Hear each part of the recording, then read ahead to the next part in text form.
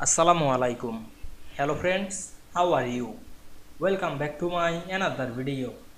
In this video, I am going to show you how to set tab in Affinity Publisher.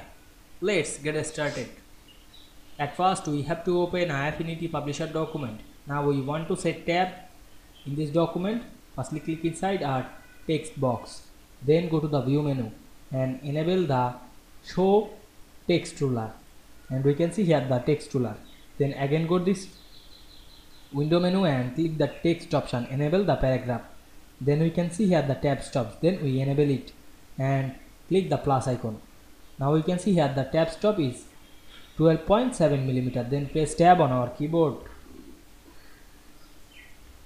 And we can see we make our tab stops very easily. You can add another tab stops and increase or decrease the number of this tab. Now i am select the number 5 then press enter.